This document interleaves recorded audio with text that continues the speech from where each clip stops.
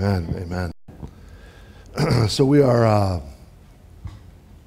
we are in a in a kind of a sub series, uh, Family Matters, talking about uh, about love, and I think we all could, would agree that that we all could use some uh, lessons on becoming better lovers in our life, and so that's what this series is about. And I hope that, uh, of course, we had a break last week, but I hope that you know as we continue this series that it is helpful to you, that you, that you uh, uh, grow through it, um, and that you, uh, you know, even on your own, um, read through the different texts and different things and look back through your notes because love is what it's all about.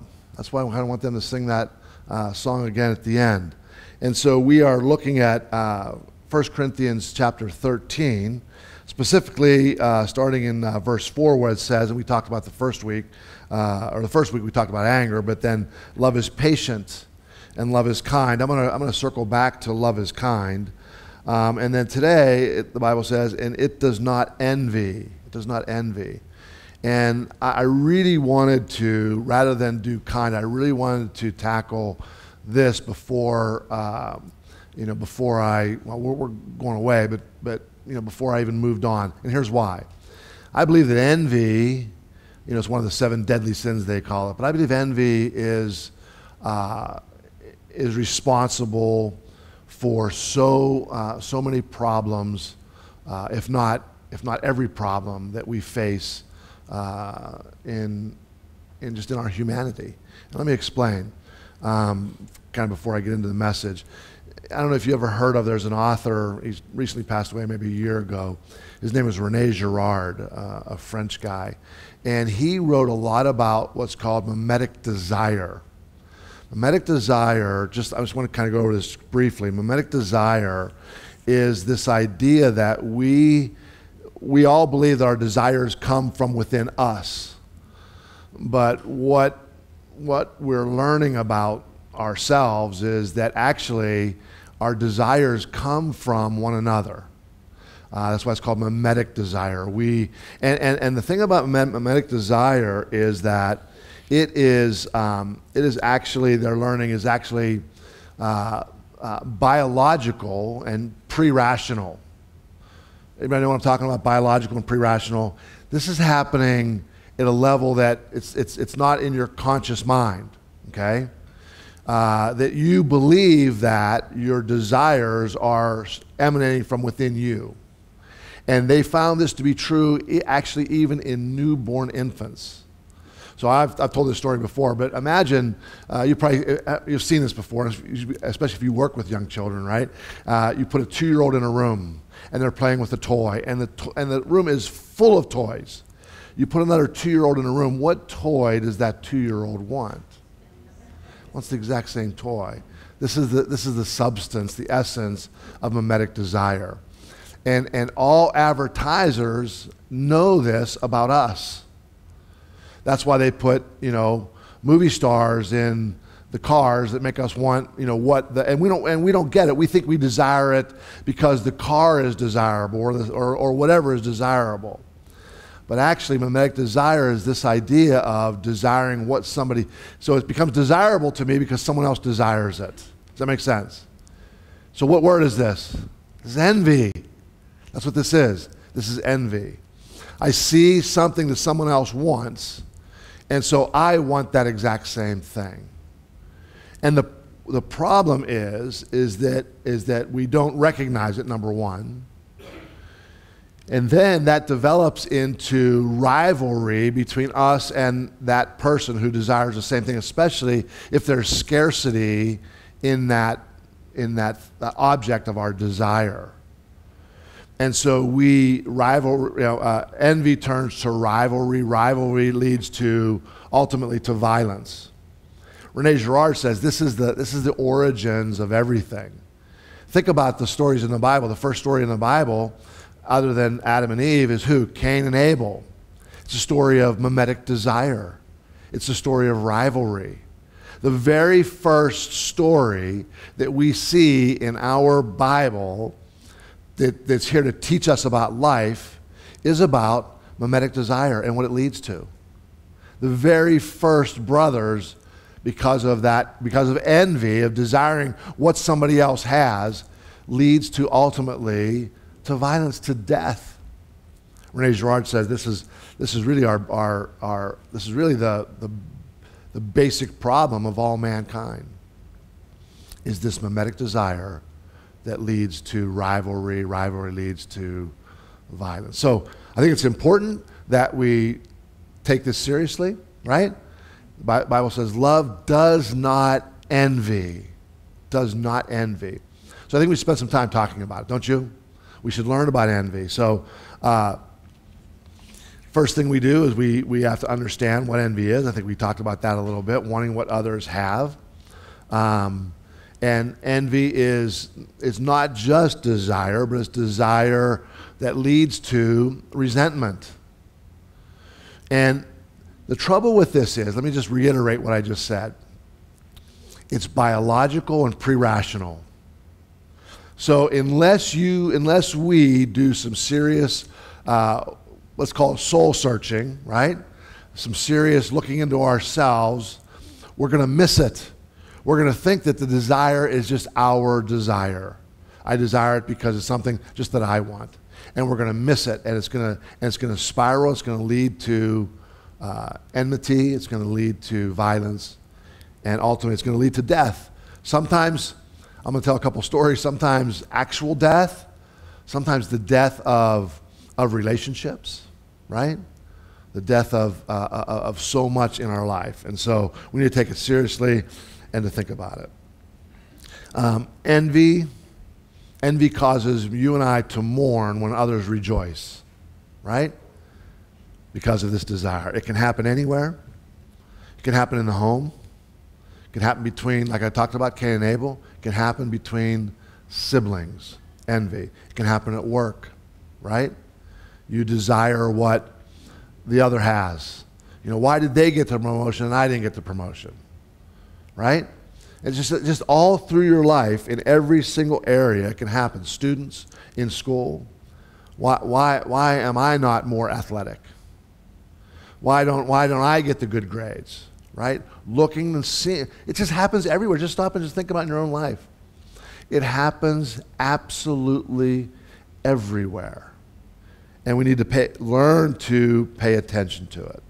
Um, so, uh, advertisers take advantage of this and they manipulate us because of that mimetic desire, because of that rivalry. rivalry. Basically, they say this they say, uh, if you buy whatever, if you buy our product, if you buy X, you will be the envy of everybody else. That's basically what they're saying, aren't they? Without saying it.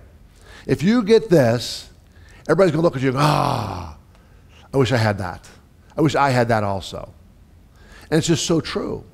And if you'll stop and you'll pay attention to your own self, you'll, you'll realize that as well. Um, there was a study done uh, in, in middle America, in Muncie, Indiana. And they wanted to see uh, what causes people, it's a whole long article. I'm just going to summarize it, okay? It's real simple. Uh, they wanted to see what causes people to buy one product over another, right? Like, why do you buy this toothpaste over this toothpaste? Why do you buy this car over that car? Whatever, whatever it is. So they did this massive research project, right? To figure out why people buy one product over another. And it boiled down to one thing envy. It boiled down to mimetic desire. What do other people, what are other people desiring? So envy is all over. And I want you to know this that envy will, will poison your relationships if you let it in. Um, that's why it's in this verse. I, I read in, in, in, in, uh, in preparing for this, I, last night I was reading all kind of articles and everything. There is a story of, uh, this is an absolutely 100% true story. These two girls in high school, they were best friends their entire life and they both went out for the coveted cheerleading squad. And uh, at the at the end, after all the after all the you know, I guess they have practices or whatever they have at the end, one girl made it and the other one didn't. the one that didn't make it, was so envious, she killed her friend to be on the team, and she got put on the team.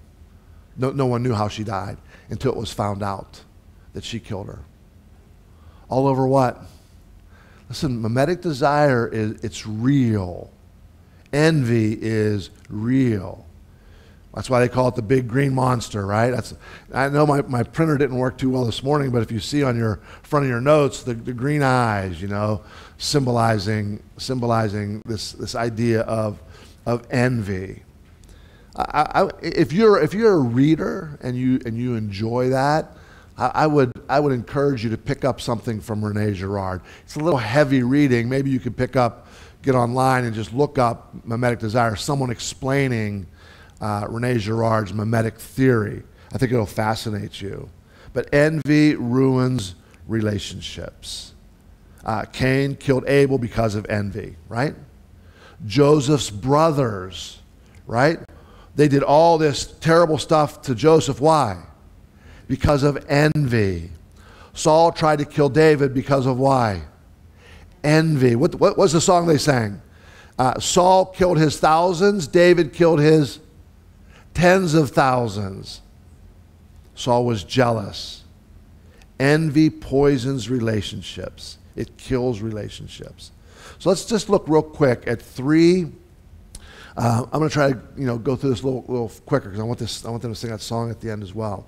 Uh, but three things that um, that happen uh, when we envy with mimetic desire. Number one is this: is obvious. It causes conflict. It causes conflict. There's a I read another story of a woman who was in her garage in their freezer that cleaning out the ice that's been in the freezer for the last two years. How many have to do that as well, right? In the freezer, chipping away, and got some, and the kids were playing around in the, in the, in the garage, and she threw out some ice, and, and one kid started, one child started to play with the ice, and, and the other one said, hey, you know, I want some ice. So she said, okay, Chip put it in a bucket and threw it out there, playing with it, you know. And then the other one said, hey, you know, she has more ice than me. Okay, chip off some more and throw it out there. And, and what did the other one say? Wait a minute. Now they have more than me. And she's chipping away ice, ice. And the kids are out there, ankle deep in ice, complaining about, back and forth, wanting more ice. All along, they're in bare feet. Their, their feet are freezing, hurting them. They're in pain, but they still desire more and more and more until it comes to almost, almost to blows between two siblings over ice, and the, and the mom has to separate them. It's all over. James 4 1 says this What causes fights and quarrels among you? Don't they come from the, your desires that battle within you? You desire, but you do not have, so you kill. You covet, but you cannot get what you want, so you quarrel and fight. James just nails it, doesn't he? From your desires that battle, that rage within you from early age on, it causes these problems. There's a there's a uh, there's an old Jewish uh, folklore story that goes like this: A shopkeeper uh, was very jealous, envious of a shopkeeper just down the road from his store. One day, an angel appears to him and says to him, uh, Listen, ask for anything that you want, anything at all. Whatever you want is yours. You want a million dollars, it's yours. You ask for whatever you want. And the store owner said, Well, well, what's the catch? The angel said, Well, the only catch is this whatever you ask for, whatever you want, the shopkeeper down the road, your, your, your rival, he gets double what you get. And he sat and thought for a minute. I got it. I know what I want. He said, What is it? He said, I want to be blind in one eye. You know, what, what, a, what, what, a, what a telling story, isn't it? That, the lengths that will go because of envy, because of rivalry, because of mimetic desire.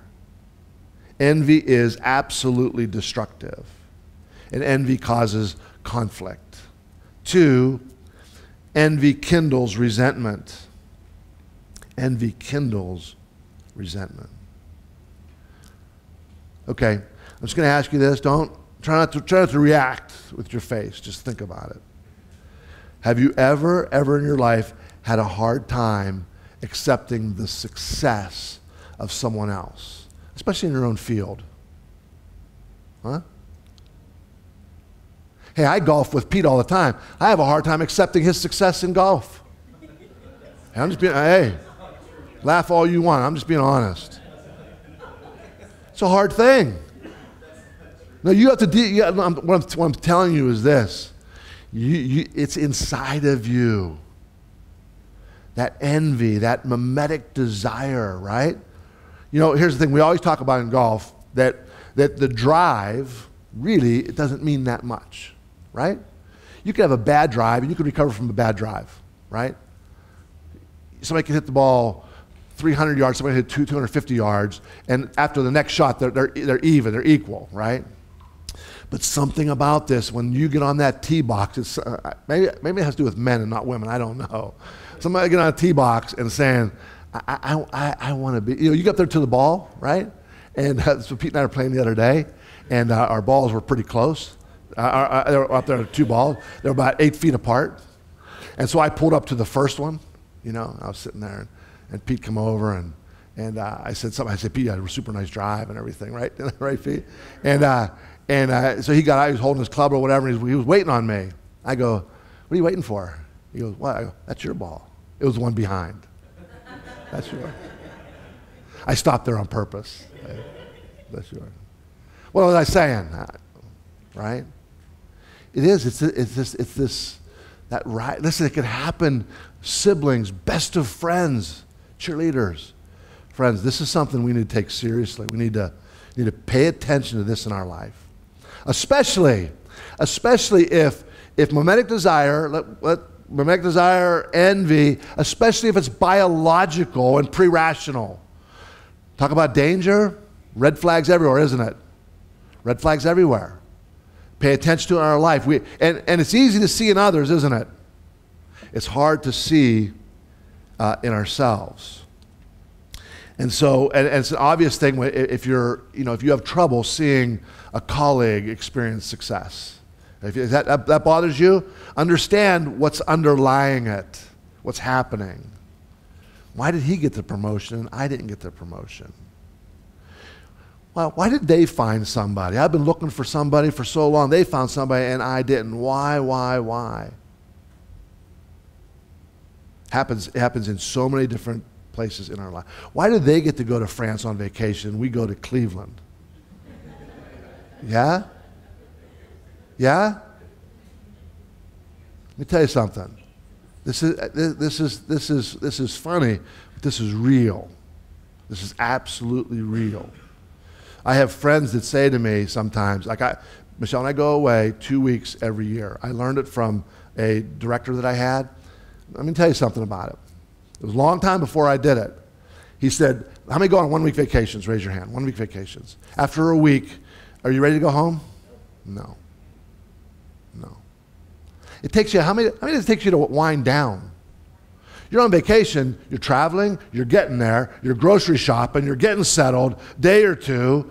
Now you start to get, get a place where you can start to wind down. You get the place to wind down, it's time to go home. Start packing up, get ready, and you're going to go home.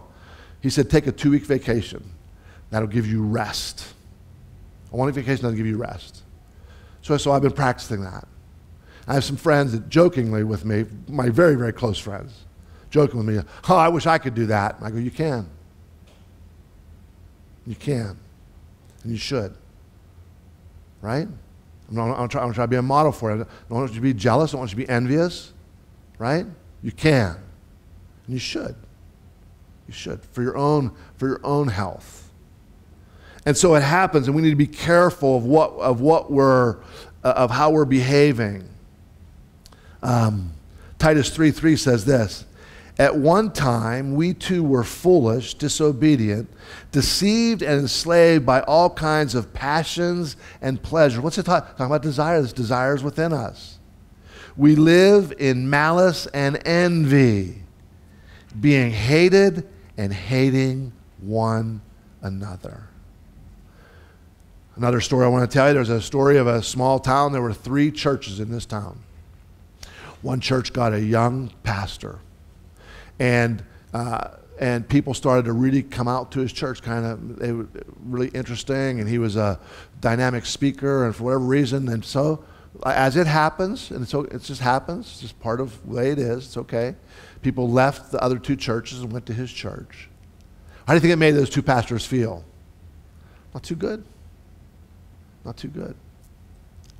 So then rumors started, and this is a true story. Some rumors started about the young pastor of some of some impropriety, sexual impropriety. And it wasn't true. It wasn't true.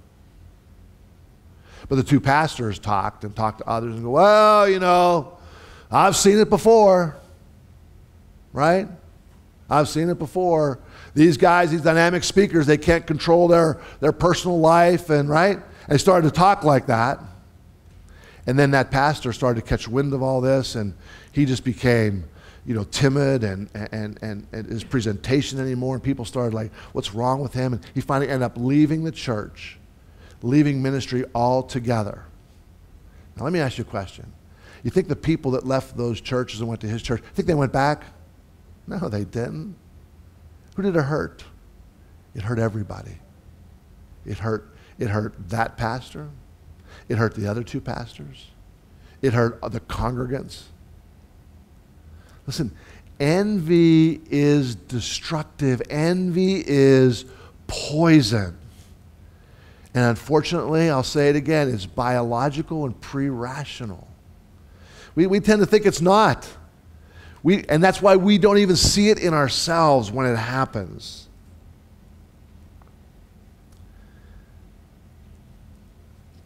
I got to move on.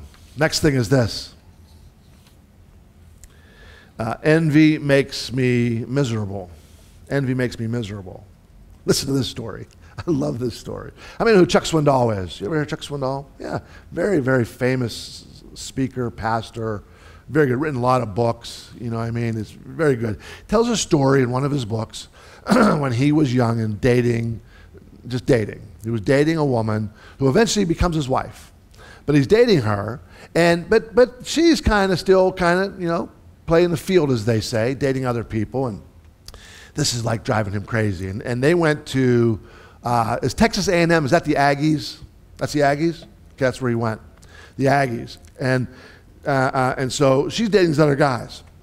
And he says to her, I don't think you should be. I think that you're exclusively mine. Well, she was like, oh, do you really? You know, so she went to Texas, uh, Texas Aggie game, Texas A&M game with a, another guy.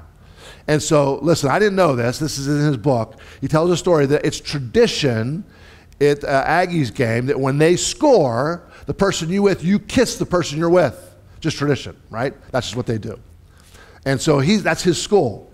And he tells a story that he's at home watching the game. He said, I'm praying for my team to lose. Not just lose, be shut out. I'm praying. They won 48 and nothing. he said, I was at home just boiling in misery. Why? Envy. Envy. Envy will make you miserable. So, I, I, was thinking about this. I was thinking about what's an example for us. Uh, there's plenty of examples in the Bible of envy, of it going bad. I thought, is there any example of envy, uh, of the opposite of that in the Bible? I was thinking and thinking and thinking, and I, I thought, you know I thought of? John the Baptist.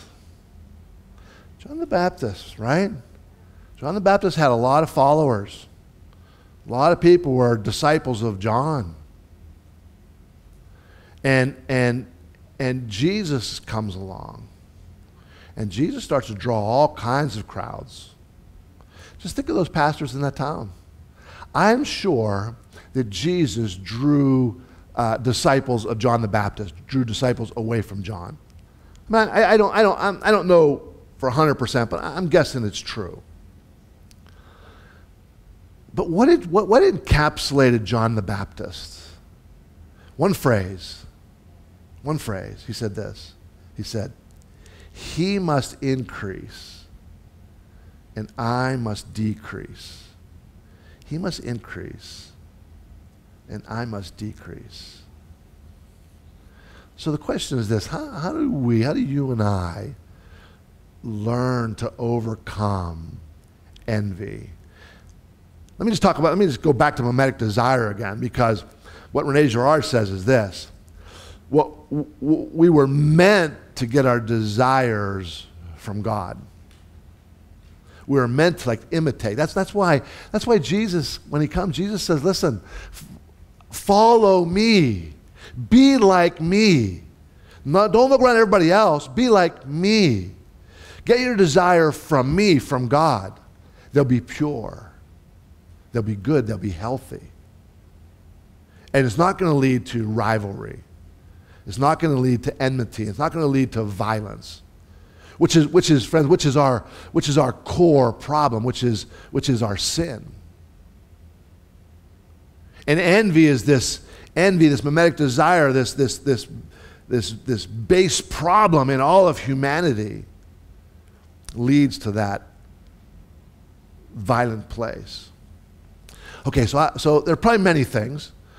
So I came up with four things that I think that we can uh, that we can work on in our life, that I can work on, that you can work on to implement, to help combat rivalry, help combat this this state that's that's, that's you know overcome the states even biological and pre-rational. First one is this: resist comparing your drive to someone else's drive, right? Golfing analogy. Resist comparing yourself to others. Resist comparing yourself to others. Because when you do, you're just setting yourself up for trouble. Because here, here, here's what I know to be true. I don't care how good you are at anything that you do, there will always be what? There will always be someone better than you. Always be someone better. We need to practice, practice in our life, not comparing ourselves to others. Listen, you ever buy a new car? You talk about depreciation when you drive off a lot. Let me tell you what depreciates your car more than anything else your neighbor buying a newer one than you. Yeah. That depreciates your car faster and more than anything else. Listen, you, and you know it to be true. Here's the, here's the thing about this. Here's the thing about this. When it's happening, none of us notice it. But all of us look back and go, oh, yeah. Right? Am I right? All, you can look back in your life and you know it's hard to admit it to yourself that you did it out of envy. It's hard to admit. You'll never admit it to anybody else. And it'll, it'll cross your mind. You'll talk yourself out of it. But if you'll take the time to be honest with yourself, you look back, oh, yeah, that was a bad move. That was, that was done, that was, that was wrong motives. That was mimetic desire, right? Next one. Something to, so the first one is resist comparing. The next one is something to remember. Remember that the thing that you're envying, the thing that you're envying, does not guarantee happiness. The thing that you're envying does not guarantee happiness. Next, next time you find yourself desiring something, especially if it's you know, envying something, ask yourself a question. Um, will this thing, this object that I'm desiring, Will it, listen, look at me, look at me for a minute. Will this bring me lasting happiness? Notice I just didn't say happiness. I mean, you're happy when you buy a brand new car. You're happy when you buy a brand new car. Until the first payment rolls around. Then you're not so happy. Until your kids spill a whole thing of Coke in it. like happened to us. Remember my story of that? Right? A whole thing of Coke in our car, brand new car, whole thing of Coke. Right? All of a sudden, listen, it's not lasting. Ask yourself, will the thing that I'm desiring, will the thing that I'm envying, will it bring lasting happiness? Once there was a young girl whose parents took her to the, the shrine of the Golden Arches. There she saw an opportunity to buy a combination of food and a little toy that someone in a fit of marketing genius named the Happy Meal.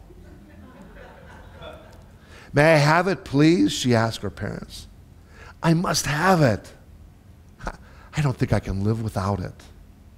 No, her parents told her the toy is a trivial little thing that just enabled the price of this package to be raised beyond its, uh, it's what it's really worth. And it's not in our budget. We can't do it. But you don't understand, she said.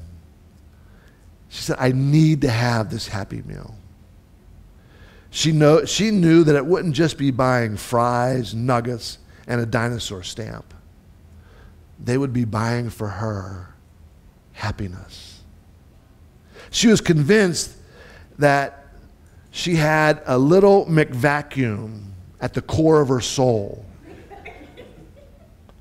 Our hearts are restless until they find rest in a happy meal.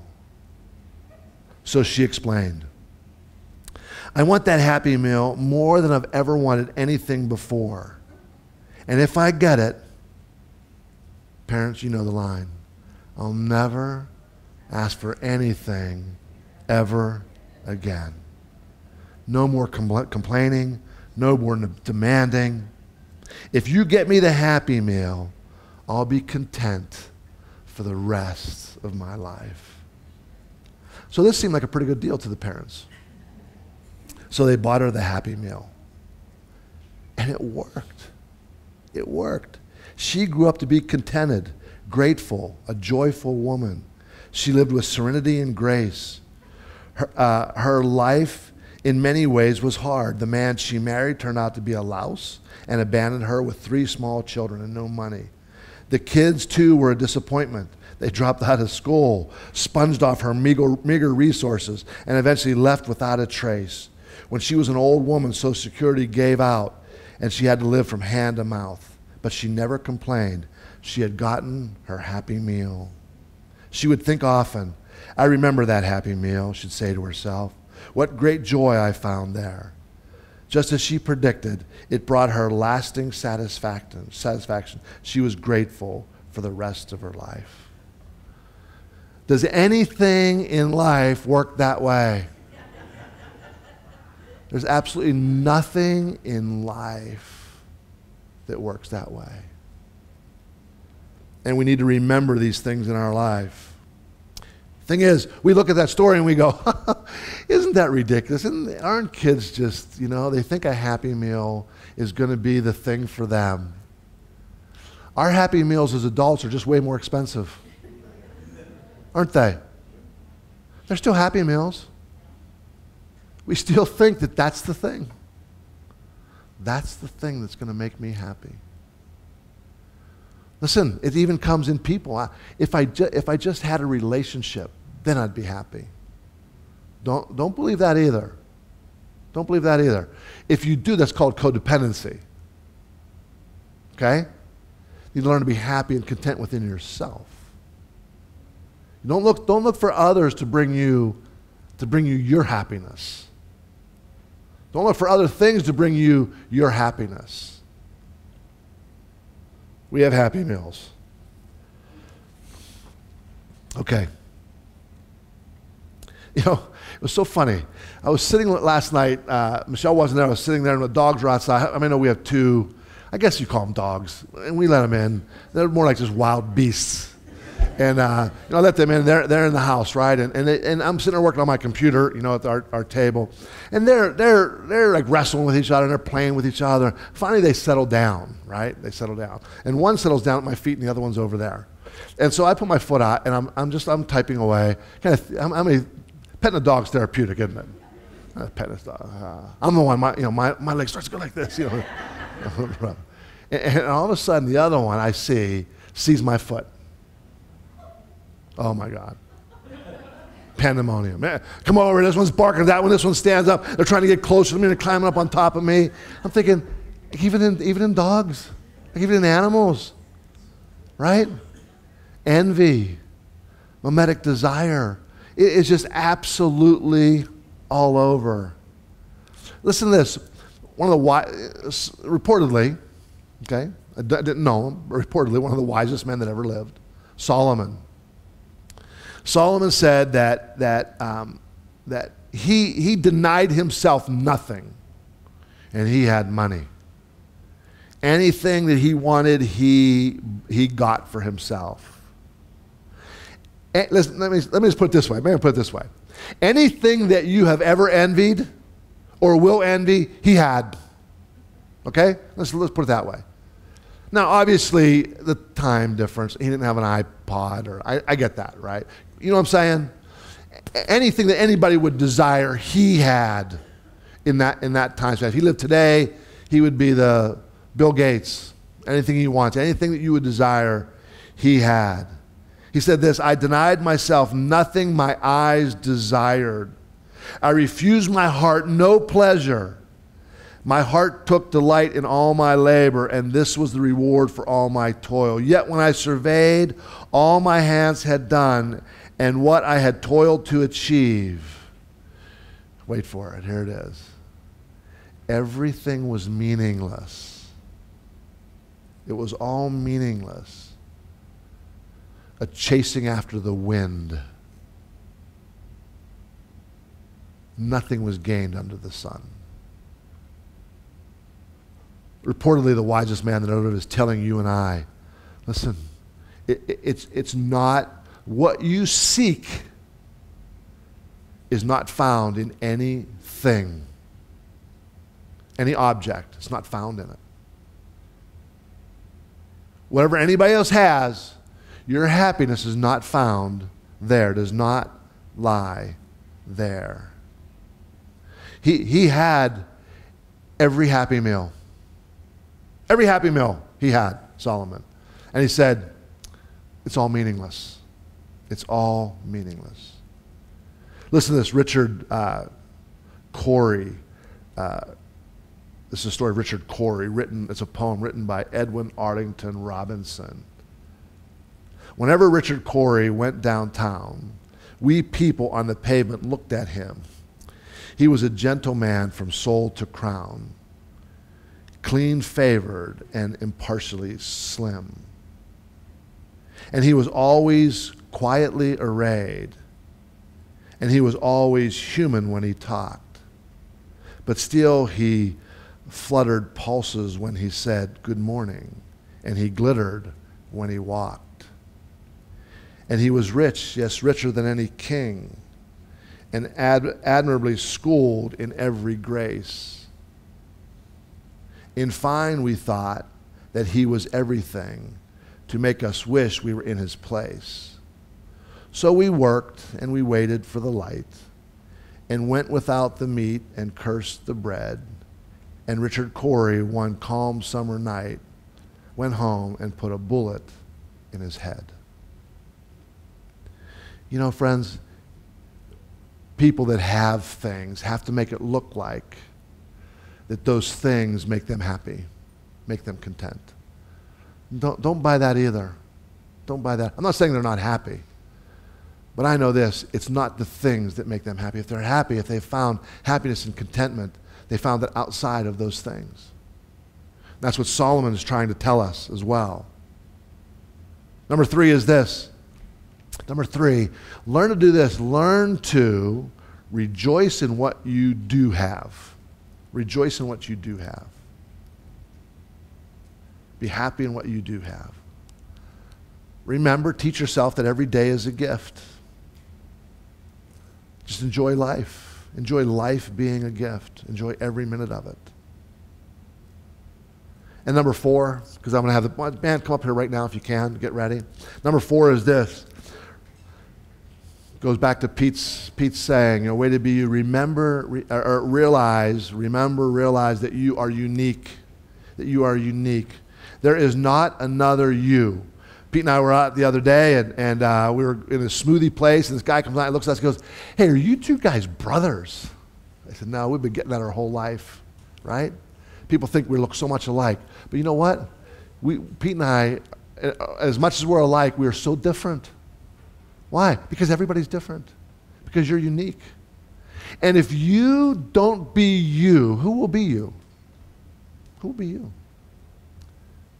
Realize you're a unique person. The qualities, characteristics, everything about you is unique to you. I think if you look back through your notes, you look at these four things, and you could probably think of, of many more. Let me just, just real quick, I won't read the whole story, but there's a story of Itzhak Perlman, you know, the, the violinist, right? Uh, he had polio when he was a kid. And so he uh, has, uh, you know, like crutches or a wheelchair. He's an unbelievable violinist. And there's a story uh, told of him. I don't know if it's true or not, but a story told of him that, you know, he, he you know, uh, came out onto the stage in crutches, and you know it was it was hard for him to get out there and everything. And he starts playing with this orchestra, right? And the conductor starts. He starts playing. As he's playing, as he gets into it, however long, a string breaks on his violin, and everything stops. And so he pauses and he closes his eyes, and uh, let me just let me get his line right. And then he uh, he he opened his eyes, looked at the conductor. Well, he put his finger like this first, closed eyes, looked at the conductor, nodded his head to start. And so he started playing, and he finished the entire thing um, on his violin with three strings. And let me see if I can find the line in here. I should have read it because I would have come right across the line. Um, he said this He said, You know, sometimes it's the artist's task to find out how much music you can still make with what you have left. Boy, what a, what a, what a, even if it's not a true story, what a great parable, isn't it? Because he lived, well, this wasn't about, that, that line, it wasn't about just about music, was it? He had polio. What will you do? Listen, you, you, we've been given so much. And you don't, and you don't appreciate anything until some, a piece is gone, is missing, right? like the string. And we could say, oh, it's, you know, it's, now it's broke. Now I can't do anything. I have to fix that. What will you do with what you have, basically? What will you do with what you have left? Because here's, the thing. Look around the room. Look around. Look at everybody. No one's perfect. No one's perfect. Some of you think you're close, but you're not. No one's perfect. And so I think that if we'll, if we'll, if we'll really think about these things and, and, and so I, it's just, honestly, it's, life just takes practice, doesn't it? It just takes practice. Look at these things. I'm going to practice these things in my life. Because why? Because envy kills. Envy destroys. Don't let it happen to you.